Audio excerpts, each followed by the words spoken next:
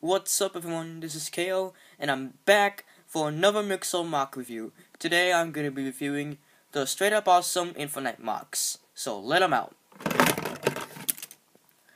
So here are the Infernite MOCs that I have built. I have Inferno, Fizz, and Igneous. So let's start out with Inferno. Now Inferno is the leader of the Infernite MOCs and he he goes sightseeing out in Mixopolis to sightsee. Okay, that word doesn't make sense, but still, he goes around Mixopolis and he has some fun sightseeing for it. So, um, has a pretty cool looking um, face, tail, resembles as tailies, um, feet, and, and arms. So, um, Here's his articulation. The mouth, the tail, the hand, I mean, I mean hands, and the feet. Okay, so that's Inferno. Next up is Fizz. Now Fizz is has some pretty cool firearms. Um, I don't know which Mixel has firearms, but even if you don't, if you do know which Mixel has firearms, leave a comment down below, and I'll say it.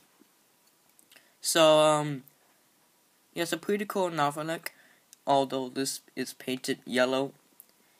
But still, it looks pretty cool, and a pretty cool looking face as well.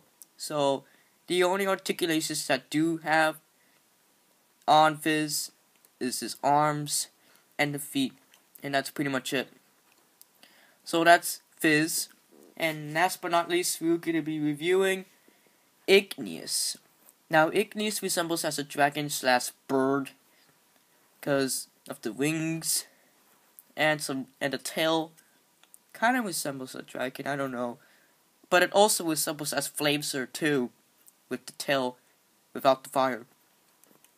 Anyways, has a pretty cool looking wings, tail, face, and feet.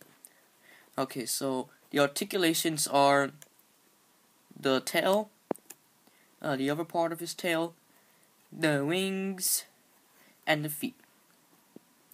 And that's pretty much it. And that is the review of Straight Up Awesome's Infernite MOCs.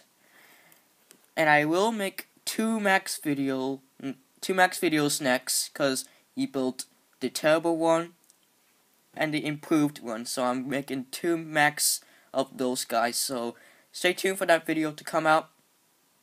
I mean, stay tuned for two videos coming out because two maxes. Anyways, thanks for watching this video. This is Kayo the Review guys signing out.